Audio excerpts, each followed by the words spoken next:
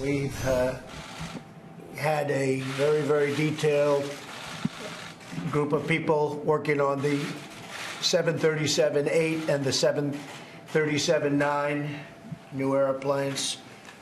Uh, We're going to be issuing an emergency order of prohibition to ground all flights of the 737 MAX 8 and the 737 MAX 9 and planes associated with that line.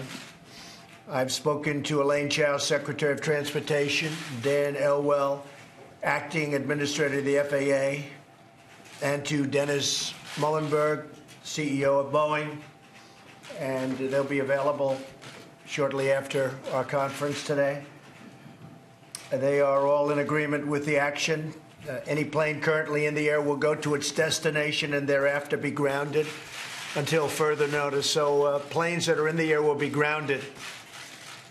If they're the 737 MAX, will be grounded upon landing at the destination. Uh, pilots have been notified.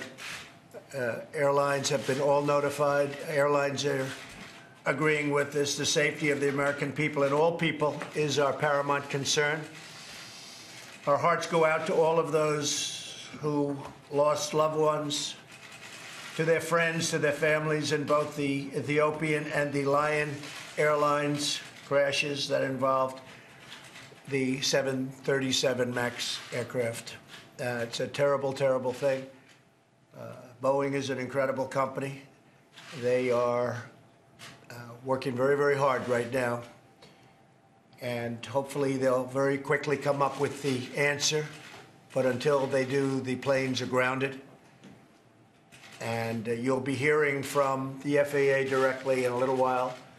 I would say probably in 45 minutes from now, so you'll be prepared to hear. They're going to go into great detail as to what they found and where we're going, what we're doing. But all of those planes are grounded effective immediately. Okay?